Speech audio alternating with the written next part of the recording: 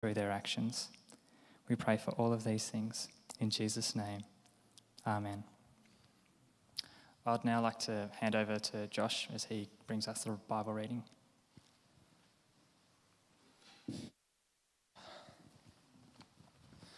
Yep, I'm Josh. I'm going to read you the Bible. Um, we're going to be reading uh, 1 Kings 17, and on the Pew Bibles in front of you, it's on page 352. The title is Elijah Announces a Great Drought. Now, Elijah the Tishbite from Tishbe in Gilead said to Ahab, As the Lord, the God of Israel, lives, whom I serve, there will be neither dew nor rain in the next few years except at my word. Then the word of the Lord came to Elijah Leave here, turn eastward, and hide in the Kerith ravine, east of the Jordan. You will drink from the brook, and I have directed the ravens to supply you with food there. So he did what the Lord had told him. He went to Kerith ravine, east of the Jordan, and stayed there. The ravens brought him bread and meat in the morning, and bread and meat in the evening, and he drank from the brook. Sometime later, the brook dried up because there had been no rain in the land. Then the word of the Lord came to him Go at once to Zarephath. Zarephath, in the region of Sidon, and stay there. I have directed a, win- a widow there to supply you with food. So he went to Zarephath. When he came to the town gate, a widow was there gathering sticks. He called to her and asked, would you bring me a little water in a jar so I may have a drink? As she was going to get it, he called, And bring me, please, a piece of bread. As surely as the Lord your God lives, she replied, I don't have any bread, only a handful of flour in a jar and a little olive oil in a jug. I am gathering a few sticks to take home and make a meal for myself and my son, that we may eat it and die. Elijah said to her, don't be afraid. Go home and do as you have said. But first, make a small loaf of bread for me from what you have and bring it to me. And then making, make something for yourself and your son. For this is what the Lord, the God of Israel, says The jar of flour will not be used up, and the jug of oil will not run dry until the day the Lord sends rain on the land. She went away and did as Elijah had told her. So there was food every day for Elijah and for the woman and her family. For the jar of flour was not used up, and the jug of oil did not run dry, in keeping with the word of the Lord spoken by Elijah. Sometime later, the son of the woman who owned the house became ill. He grew worse and worse, and finally stopped breathing she said to Elijah, What do you have against me, man of God? Did you come to remind me of my sin and kill my son? Give me your son, Elijah replied. He took him from her arms, carried him to the upper room where he was staying, and laid him on his bed. Then he cried out to the Lord, Lord my God, have you brought tragedy even on this widow I am staying with by causing her son to die? Then he stretched himself out on the boy three times and cried out to the Lord, Lord my God, let this boy's life return to him. The Lord heard Elijah's cry, and the boy's life returned to him, and he lived. Elijah picked up the child and carried him down from the room into the house. He gave him to his mother and said, Look, your son is alive. Then the woman said to Elijah, Now I know that you are a man of God, and the word of the Lord from your mouth is the truth. Please come up, John. John's going to give the sermon today. So let's pray for him. Dear Lord, please be with John right now as he gives this sermon. Please help him to have the right words to say, and please help him to speak from your heart, not his own. Help us to listen to what he has to say and, and understand what you have to say. In Jesus' name, amen. amen.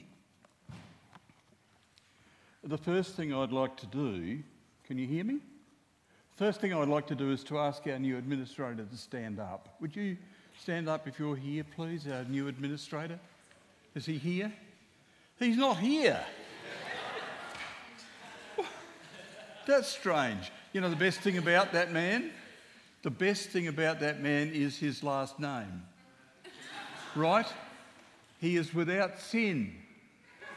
Remember? Remember? Yes. That fell flat, didn't it? I mean, that was supposed to be really good. Oh dear, never mind. Over the last few weeks, we've been talking about this notion not only of who our God is, and we've discovered a little bit about uh, the majesty of, of his greatness, but what we've been wanting to talk about, sorry ladies, when I was teaching at college, this was known as the spray zone. so, so, I hope you're okay. Um, where was I?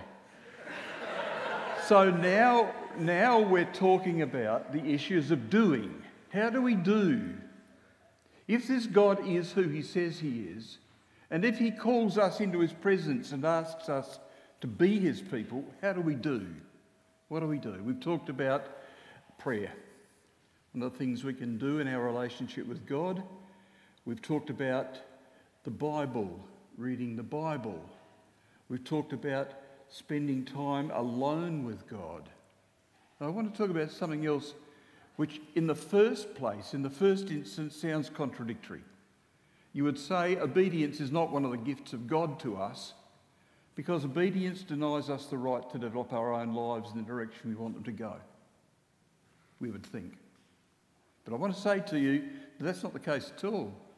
In fact, we'll discover that obedience is one of God's greatest gifts to us forever. Let me just uh, begin by saying here look, uh, um, there are hallmarks about each one of us. Each one of us has characteristics which identify our authenticity. If I were to go to the police station and give them my fingerprints, they would be able to identify my past, if there has been. There hasn't, fortunately but they would be able to identify by my fingerprints. Uh, they would be able to identify by my modus operandi the kinds of things that I do and the way I do them, and they would be able to identify me. And they would be able to say, that's that person there. My DNA can't be changed, it is what it is. And that's who I am. And they can identify mothers and fathers from the DNA that they give to the uh, scientists to tell whether they're really mothers and fathers of children. We can be told by these signs and these characteristics. Signature tunes is another one.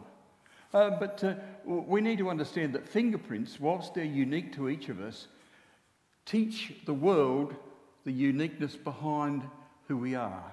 They identify our character, our personality. And the ownership of our reputation, our character, is shown in our fingerprints. Human beings are not the only ones with fingerprints, though. God has fingerprints, and whilst we can't see them externally, we can recognize his fingerprints from the things he does and from the ways he does them. And the, the most useful thing we can do is to learn to recognize finger, God's fingerprints in our lives. To be able to see that in the events of our lives, we see not just the event itself, not the issue that we're facing, but the fingerprint of the living God guiding us and keeping us through those events. The more we can learn about those, the more likely we are to be able to possess that in the future when things are not exactly as they are now. This is what happens, really, I think. I, this is my picture of it anyway. Sensing destiny in our experience of God's fingerprints, Prince, this is the kind of stuff that happens to us. First of all, God initiates, God starts. He enters into our life, He breaks into the reality of who we are and touches our nervous spirit, touches our nerves and says to us, Come on, there's the potential here for you to be something other than you are. Let me point out to you what you might be. Let me identify for you the things that you're able to do. And so we sense his awesomeness in that. We get a sense of here is one beyond me, here is one outside of me here is one who is going to be able to bring to me something that I am not yet, but that I might become. And the things that I can do into the future are not linked to who I am, but are linked to this relationship with the living God.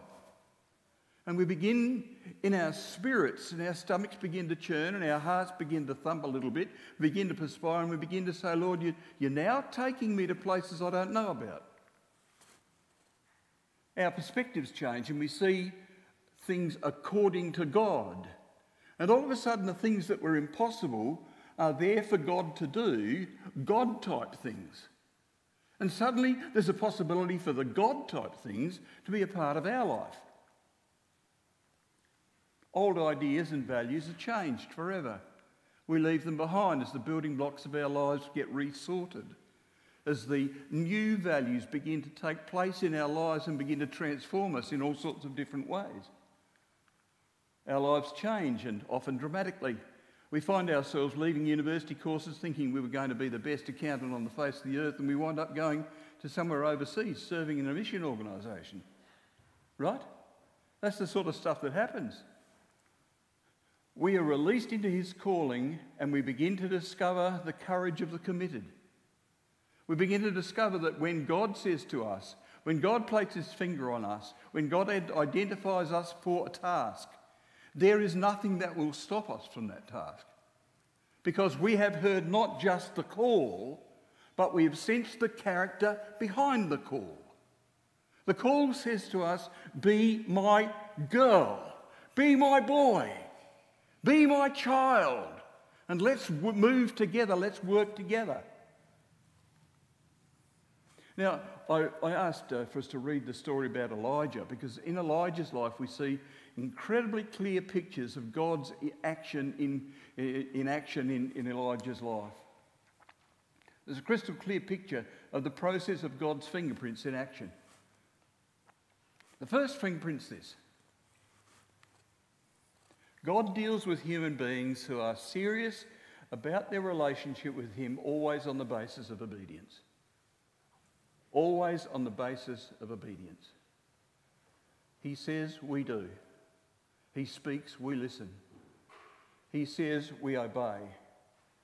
And one of the characteristics that we will find out about Elijah is that he's taken on a journey of obedience to learn the things that he needs to have in place so that when God calls from him the ultimate event of his life, he is going to be in a position to be able to respond to God in ways that are perfectly correct. It happens all over the place, of course. John chapter 15, 1 to 10, you're, I'm, the, I'm the vine, you are the, uh, you are the, the, the attachments. You, you, must bear much fruit. Apart from me, you can do nothing, etc. Anybody who know that one will know that one better than me. Jesus in Hebrew 5:8, Moses, David, Paul, all of these have begun to understand that in Jesus, uh, in God's command for us, the ultimate reality is obedience. Why obedience? Because we human beings have the worst record in the world for perverting what God is doing to our own ends. We say, these trees are ours. He says, Those trees are mine and you're here to look after them. We say, Those trees are mine and I can cut them down. He says, Here is a world with all sorts of minerals around the place. You can be careful and use them. We say, No, well, let's dig a great big hole and expose to the atmosphere all of the gathering up of the, the carbon for hundreds and thousands of years. Uh, he says, this is, this, is my, this is my ocean, keep it clean. And we say, No, that's where we'll dump our rubbish. Let's get this clear. We are the worst people on the face of the earth to pervert what God is doing for our own ends. That's not a criticism, it's a statement. And I'm not necessarily pointing the finger at any one of you or me. But that's what humanity is doing. And, and, and we need to understand that in this, in this particular position, we need to listen to God's first fingerprint. Watch Elijah and the integrity checks that he has along the way. God is testing him after having told him. Elijah, this is what I want you to do. First of all, I want you to come and be my prophet, and I want you to speak to the king, and I want you to tell the king that because of his wickedness, and particularly because of the naughtiness of his, his dreadful wife, there will be no rain for three years or more until he says so. Now, would you be prepared to go and see King Charles III and say, Charlie, by the way, there'll be no rain for the next three years because you've been a naughty boy? Not too many can get past the front door. He does. And God says to him, Now, uh, there are problems with this, my friend. You're going to have to disappear for a while, go and stay by the brook at Kerith Ravine. And while you're there, talk to me. Now, we've got to remember, and this is really important, we've got to remember that Elijah had no idea what was to come. We know the story, Elijah doesn't know the story. All he knows is that he's told everybody there's going to be no rain, and in this, in this whole environment, in the, mo- the most stupid thing to do is to go and sit by a ravine where you know full well that the brook is going to dry up. God says, Are you listening, Elijah? What I want you to do is to go into Kerith Ravine and I want you to be obedient. I'm going to test you, Elijah, because I want you to see. I already know what character formation there is in you, but I want you to see it.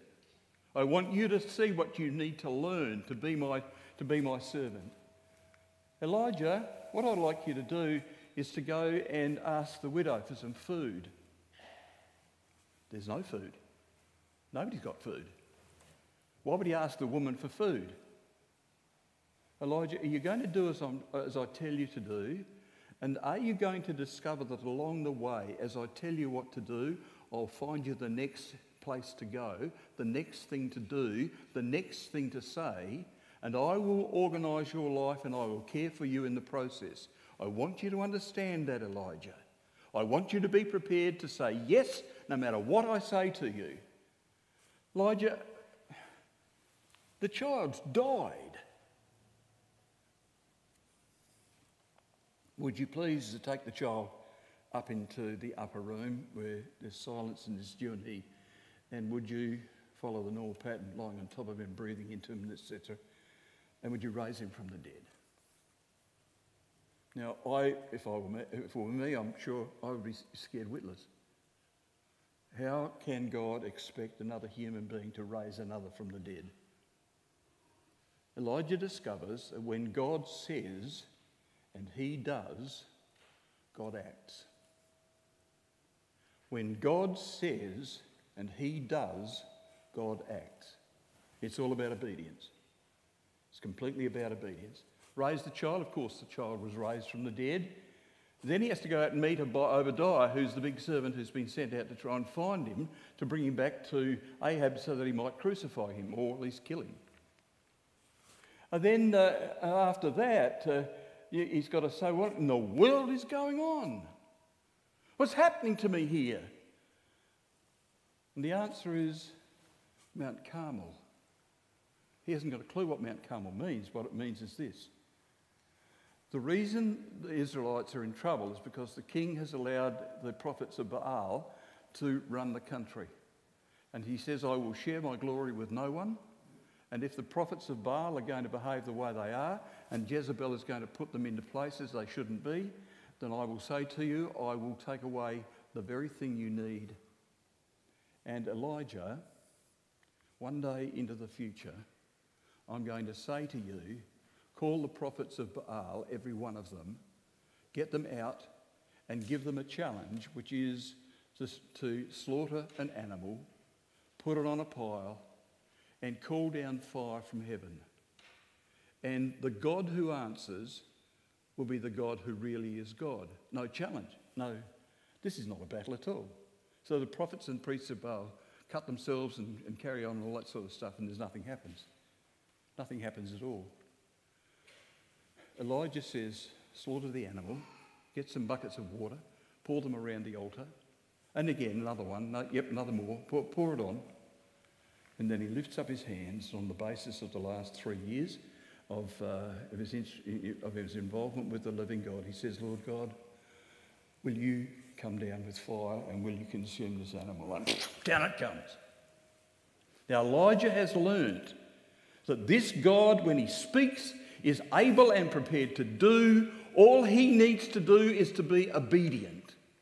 All he needs to do is respond with truth and reality in his spirit, and God is reliable, he is trustworthy, and he will do. How have you responded to the integrity checks in your life? Have you seen them as the basic things of your life? Are they the purpose for your existence? I want to say to you, and I'll talk about this in a minute, the events that you're facing at this moment are not the reality that is the purpose of your existence. Talk about that in a minute. Fingerprint two, the Desert Bible Institute. Now, Elijah's been sent by the river for three years, or living with the widow. Uh, that, that period is three years' time. Can you, can you imagine yourself? You're Elijah. You hear God say to you now, go and sit by the ravine. Okay.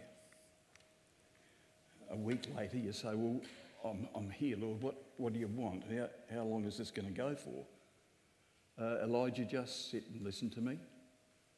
Six months later, remember, Elijah has no idea of the future. God is saying, Stay with me. Two years later, Elijah is still in the ravine. God's time is best. He will take the time that he needs. He will do whatever he chooses to do with you and with Elijah, and his time is best. Not your time, not mine. Well, let's have a look at this. It's a common process of God to take those for whom he has tasks through desert experiences. Every, let me just point out, of course, that you know I'm not talking about you being Elijah. I'm not talking about you having to have the same experiences as Elijah. Every one of us has experiences that are related to our own personality. Everyone has experiences with God that relate to our own character, with our own purpose, with God's intention for our lives. And for every single one of us, that's vastly different. I'm simply trying to use Elijah as a classic example of what God does. He will do different things with you, but expect it. What has been the Desert Bible Institute for you? taking you out into the desert of life and saying, Sit with me, cope with this stuff, let me be with you for three years. These days, we'd have people off to psychiatrists and psychologists and all the rest of it and saying, I can't cope with this anymore.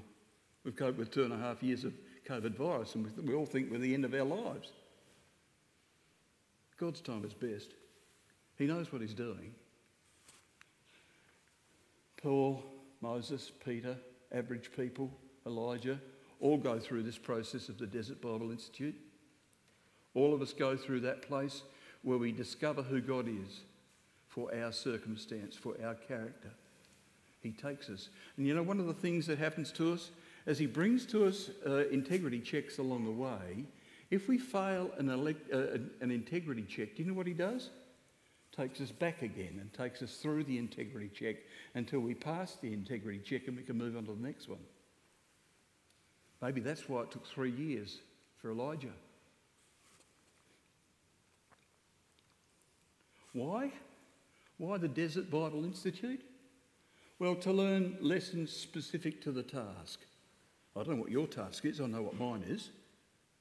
I know what Elijah's task was. What's yours?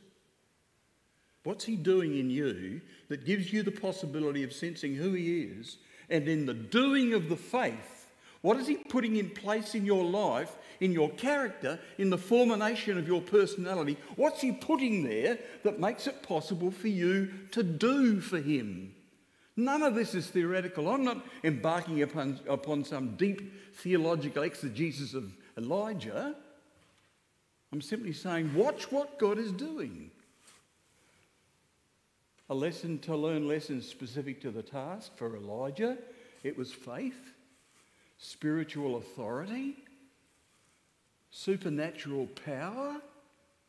I mean, Elijah stood up against the prophets of Baal and he was able to say to them, Do as you are told. Because God had done something in his life to give him the spiritual authority to stand firm as God's prophet. Then he knew how to deal with the spiritual, supernatural world, the clash of the kingdoms, and he was able to, he was able to kill 200 prophets of Baal at the, at the creek after the event. He learnt that because that was what he was supposed to be doing. Sometimes to, to develop an intimacy with God that will sustain them through the spiritual warfare involved. Where do you go? Where is the secret place? Where do you go to find the living God again? Where have you sat and listened to Him? What have you done to allow His music to play into your life? Where do you go when things are not going well?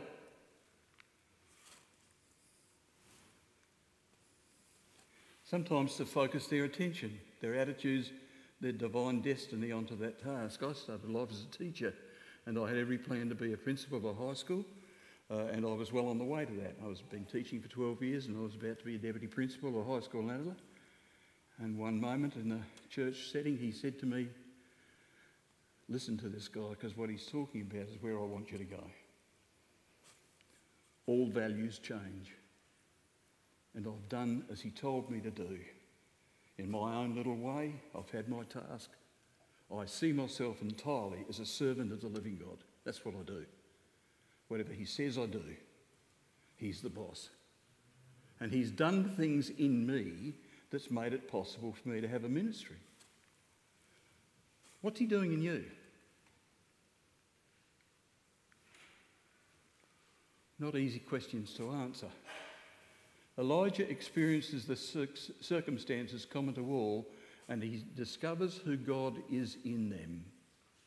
Look at that sentence. He discovers who God is in them. The events of our lives are never the purpose of our lives. The events of our lives are the circumstance in which we discover who God is. We think the circumstance of a moment is all that there is. He says, No, no, no, no, I've got you here for three years. Uh, a, little bit, a little bit later, you're going to be uh, calling down fire from heaven. Don't worry about the event now. I'm preparing you, I'm setting you up. Now, a, a classic statement that you need, to, you need to really understand God, don't be afraid of God's DBI in your own life, Desert Bible Institute, but beware. God's desert experiences nurture us, but desert experiences of our own making may kill us. Don't manufacture things for God. Don't say to yourself, I'll deliberately go out on a limb here and see what he has to say. Unless he tells you to go out on a limb, you do not do that. God's integrity is absolutely critical to you being who you are. Fingerprint three.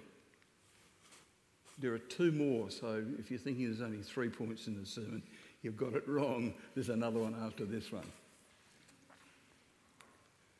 The main thing. This is the third point.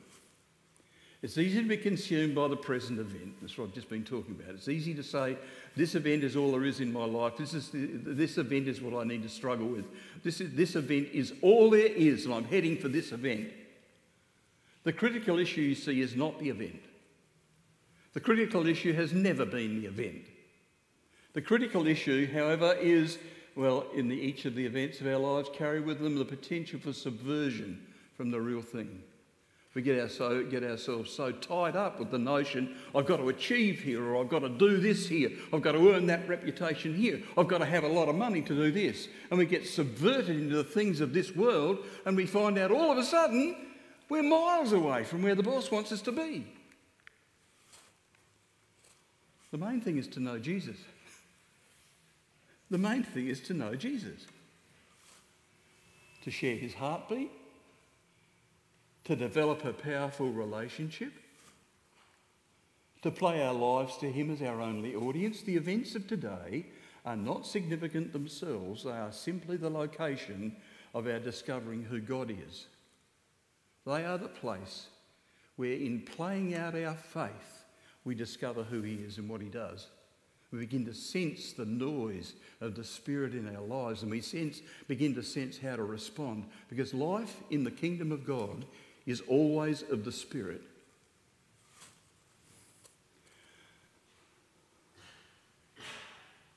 You see the last statement there? To play our lives to Him as our only audience. There are many of us who play our lives to all sorts of audiences. Some of us play our lives to impress our parents.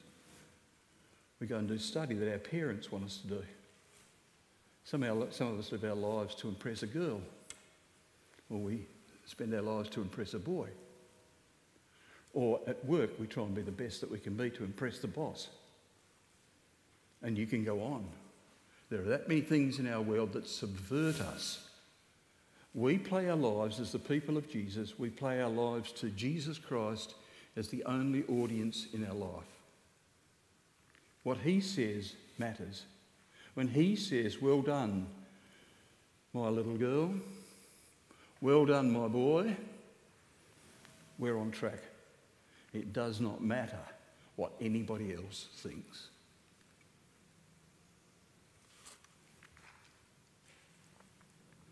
The main thing is to ensure that the main thing remains the main thing.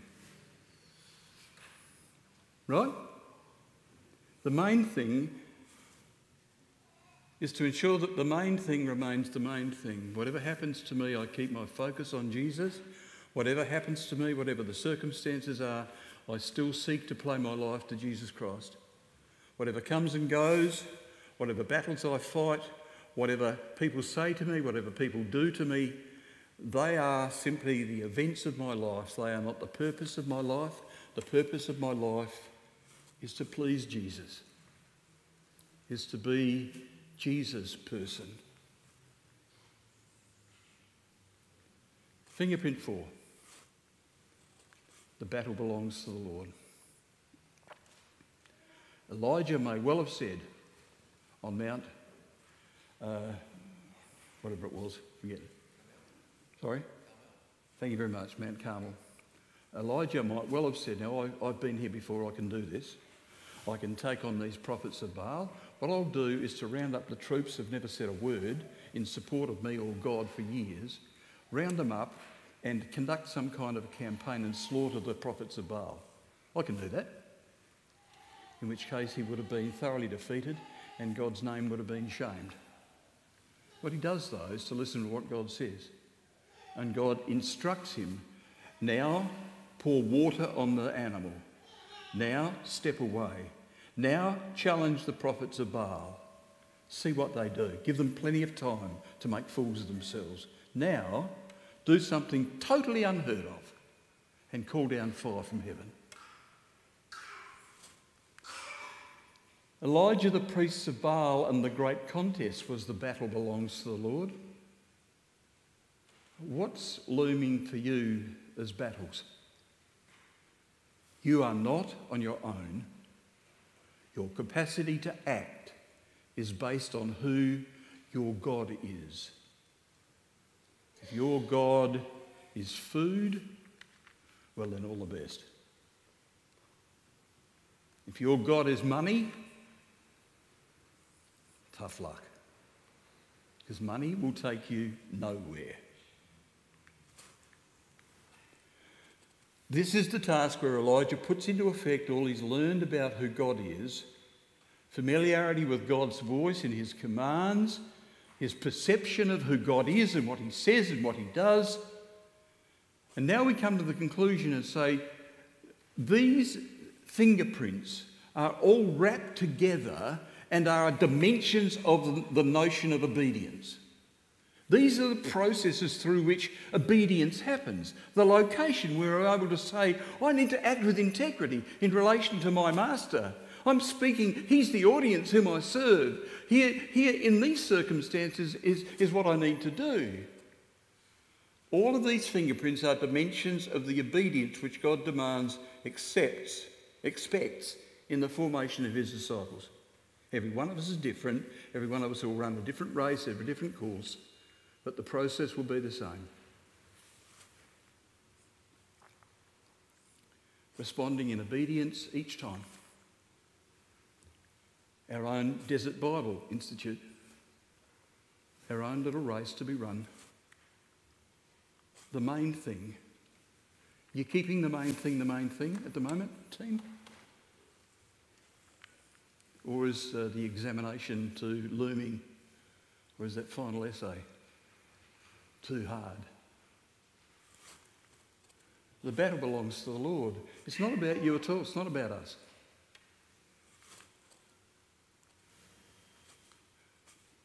Back one. The opportunity he gives for obedience from us involves us in the actions of God on earth. This is why I say to you that this gift of God is a gift of gold. Because he says to you, now, if you're prepared to be obedient to me, if you're prepared to do what I tell you to do, I will flow through you my action into the world for the sake of the world. I will form you to be like Jesus, but I will allow you to watch me use you to achieve the things of the kingdom in this world. Now, I don't know about you, but I reckon that's about the most wonderful thing you could ever expect to happen. I watch God use me. when He says, I want you to give $500 to this thing over here, and I say, okay. And I watch the money go in, and I see the person over there who, who we gave it to just thoroughly excited because God's provided. I say, Thank you, God. Thank you. You gave me the resources and I managed them as you told me to. That's what they were for. You see, obedience is not a bad thing, obedience is a wonderful thing. Each experience of personal formation through obedience is the step in the maturity of our lives to be like Jesus. Each experience, each event is a part of the of building block changes bit by bit in our character. Come on, Gertie. Can you help me up there? There we go. Intimacy. Oh, now we've got them all. Intimacy flows through everyday obedience, every action of obedience. When I step into a relationship with the living God and I relate to Him and I do what He tells me to do, I find He's standing right there with me. When I, when I listen, when you listen to what He's saying, and you discover that He's right behind you, and you're like that. Little experiences, one after the other, do this till you live in love with Jesus, till you live in obedience with Jesus that takes you on. This is the doing of our faith. This is the doing of our faith. Next one. Obedience has nothing to do with diminishment of who we are, rather, everything to do with expanding the horizons of who we might become. Obedience does not say, I'll have to leave something of my desire behind. It says, submit your desires to the Master, and he will show you what those, might become with his power. And he will take you to a place that you have never ever dreamed of. And you'll discover that one of the greatest things in your life you long for is His word and your ability to be obedient to it. Finally, we'll do the next one. The opportunity for obedience is one of God's greatest gifts for us. Let's come to the communion table.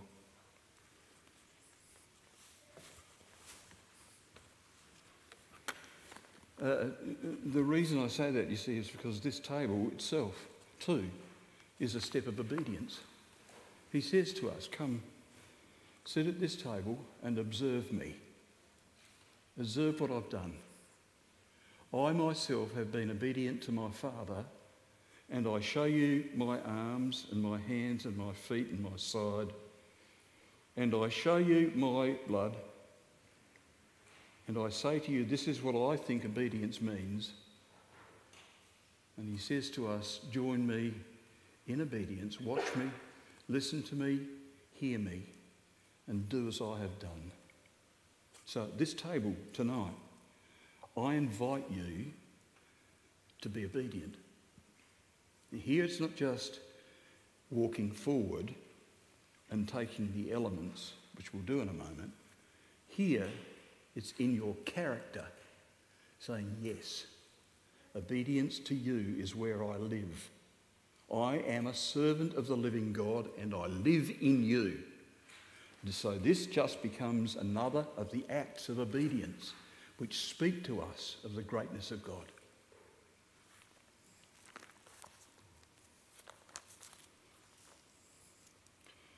For I received from the Lord what I also passed on to you.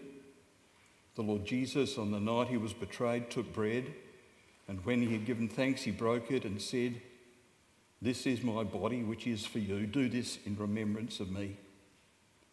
In the same way, after supper, he took the cup, saying, This cup is the new covenant in my blood.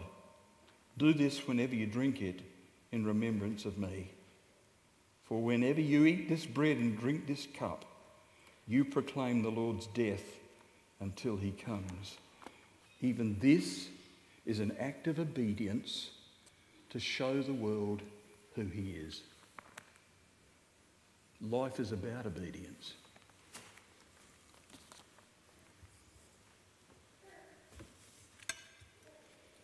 Jesus took the bread, and as his disciples were watching, he said, This is my body, which is for you. Scared out of their wits, they took it. What does he mean? We know.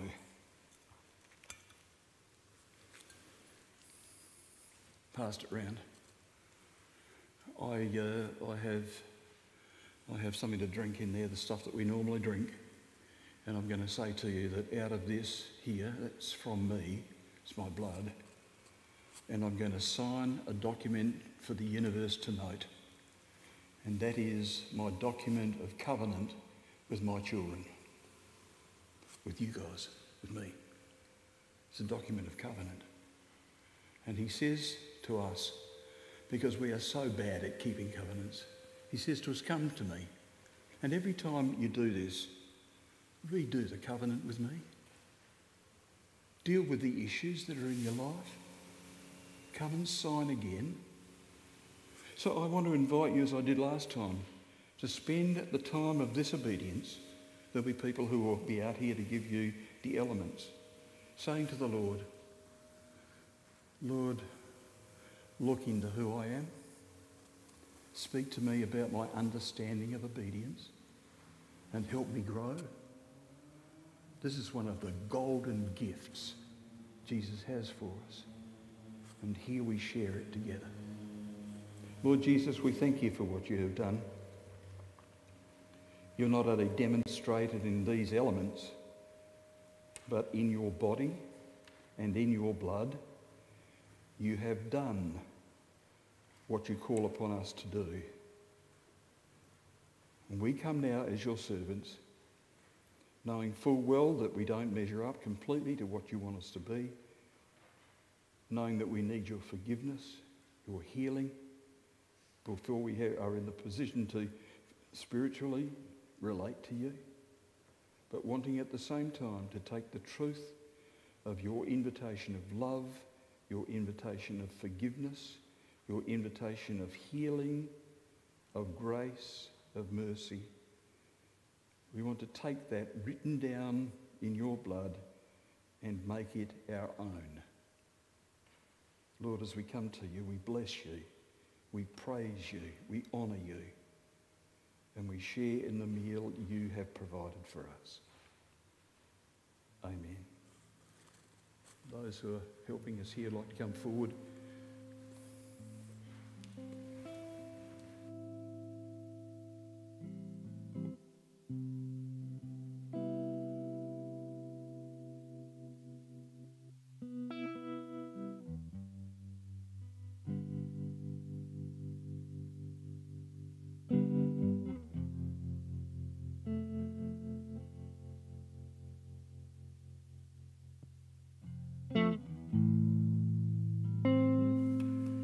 simply access the resources that are provided, the blood and the, uh, and the, the body of Christ, and go back to your seat. Take the elements with you, and we'll share when everybody's been served.